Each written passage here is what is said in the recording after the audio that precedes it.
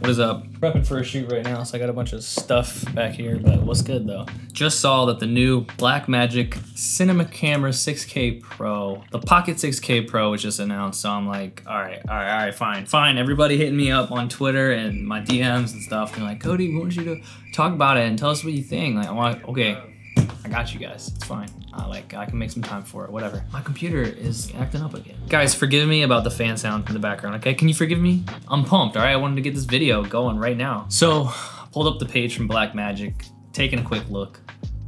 This thing looks annoyingly awesome because now I want to sell my pocket and get one. So let's just take a look quickly down some of these specs that make me want to buy it and maybe why you would want to buy it too. Some things to think about. So they got the 4K, they got the 6K, this one that I just got, and they now have the 6K Pro, like I said. That's annoying. It looks like it has the same sensor than as the 6K original. The 6K Pro includes additional pro features such as two, four, and six stops of ND filters. Internal ND filters adjustable. This is what everybody wants in a cinema camera. So like that literally right there is probably why I'm gonna buy it.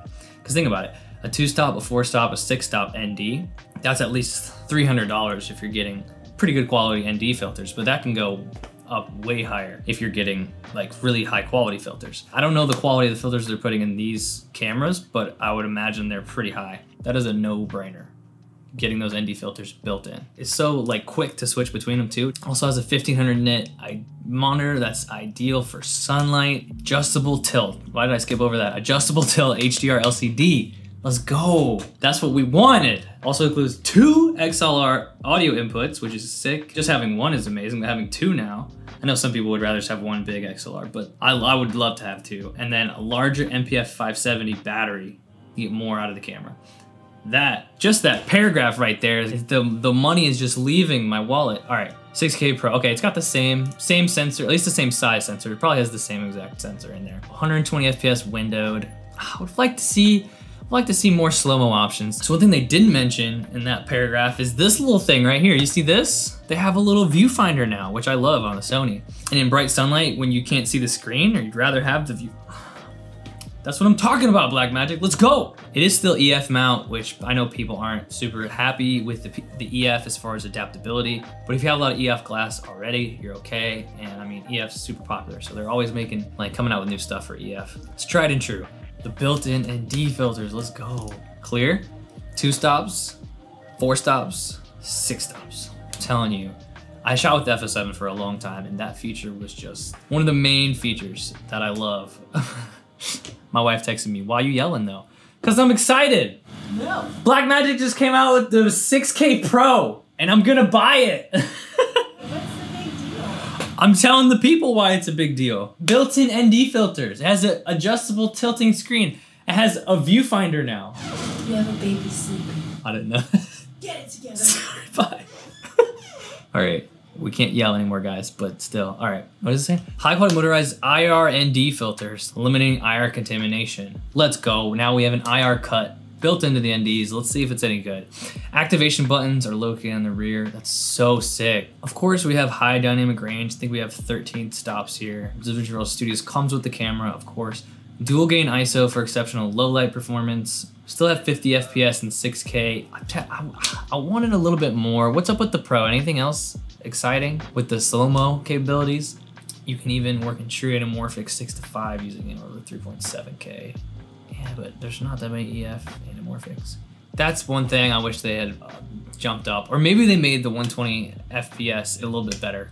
So I'm doing a project right now where I need high quality slow-mo. So I need 120p at least, but the 6K is 120. It's just, it's not great. It's in 2.8K, which is which I like, but it crops in, which a lot of cameras do that, I know, but it doesn't it doesn't hold up that well in my opinion, especially when you put it up against the 6K footage in like an edit.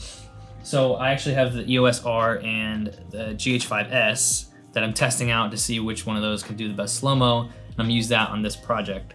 But I'd like to have, obviously, have everything all in one camera that I need to do, you know what I mean? 10-bit Apple ProRes files, which is dope. 12-bit Blackmagic RAW. Wait, up to 6K? Wait, this is saying something here. All formats, recording works in industry standard 10-bit Apple ProRes in all formats up to 4K. Or 12-bit Blackmagic RAW in all formats up to 6K. What do they mean by all formats? Can you finally do 4K RAW on the 6K?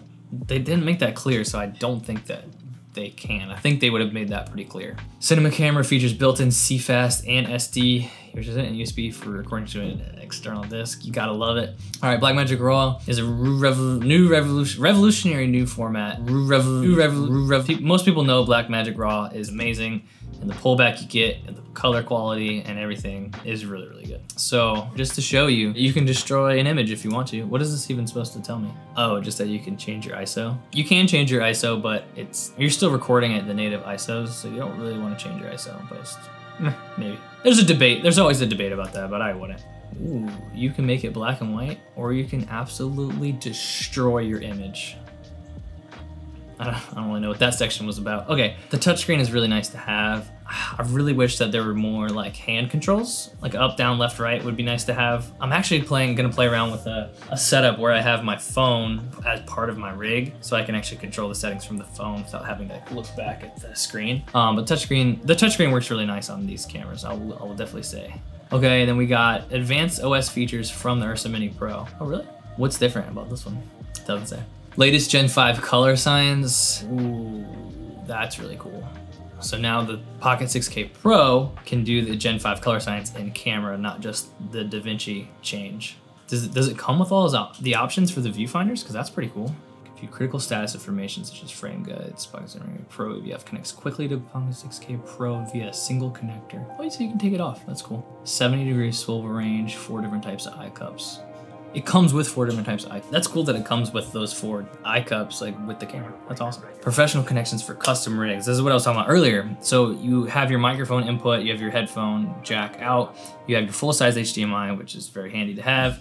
USB-C connection, which you can record to an external hard drive. You can, uh, I read earlier, you can now charge using the USB expansion port. Um, you have your 12 volt power, the little two pin power cable, which is handy. It's usually what I use to DTAP. Two mini XLR inputs, which I know could come in very handy, and they both provide phantom power. Yeah, so they just talked about four built-in microphones. Four bit wait, four built-in microphones? That's definitely new. That there's four built-in microphones. That's pretty cool. Professional high fidelity audio recording. You'll never have to carry around a separate audio recorder again. 6K Pro has two XLR connections, two separate audio tracks using two mics, two audio tracks.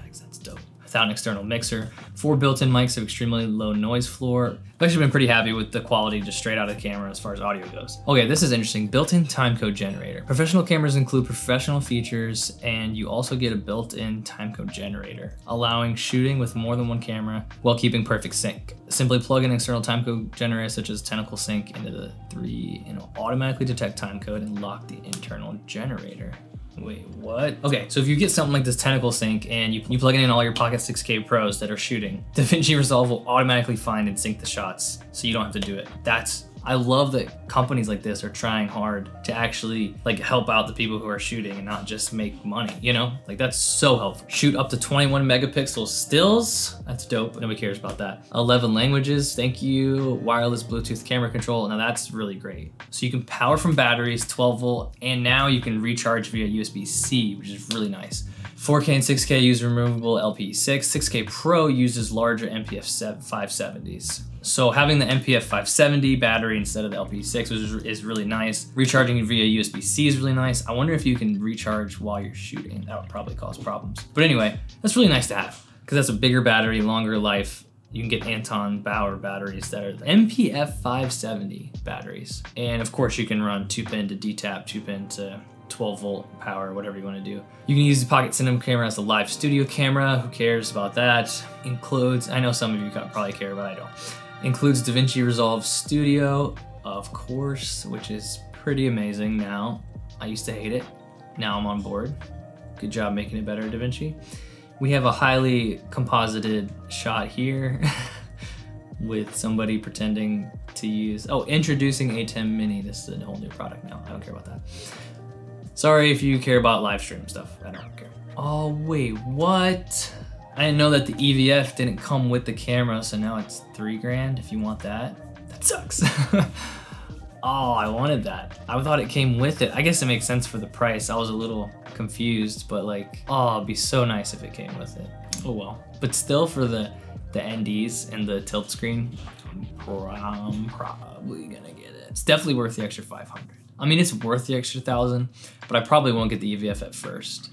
I'm gonna get the just base, just the body, and see how it see how it operates. And if I need it, I'll buy it later on. Yes, this camera looks amazing. ND filters, tilting screen, extra audio ports, time code out, recharge through USB-C, bigger battery life, more microphones. Actually, I don't care about that. EVF option, Gen 5 color science, like of reasons to upgrade. A lot of times these cameras will come out and you're like, you don't really need to upgrade to the next version of it, you know? But for this one, I'm personally gonna do whatever I can to upgrade to this camera.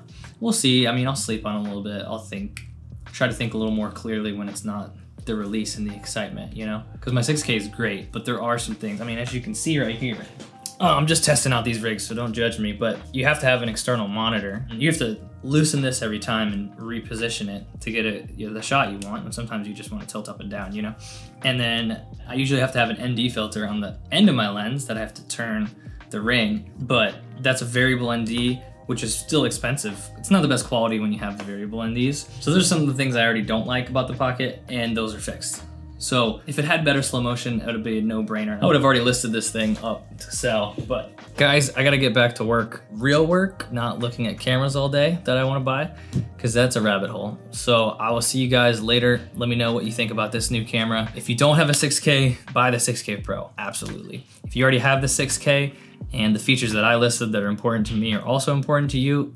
6K Pro is only $500 more, so if you want to do the whole sell your camera upgrade thing, really depends on what you're doing. It might be worth it. For me, it's worth it because you're saving money in ND filters. And if you don't have an external, like I don't have a great external monitor, the one that I have right now, it's like a hundred something bucks or something it's not the best. So to have a tilt screen, and you can probably get away without having a monitor in most situations. So if you take all that into consideration, it might be worth it selling and upgrading to the Pocket 6K Pro, as I might do. So yeah, awesome to see companies like this coming out, trying to help the little guy make some cool stuff, you know? Most of us don't have budgets for Reds and Alexas, so we take our pockets and we do what we can, you know what I'm saying? So take the money out of my pocket, Blackmagic. You're welcome. See y'all in the next one. Peace out.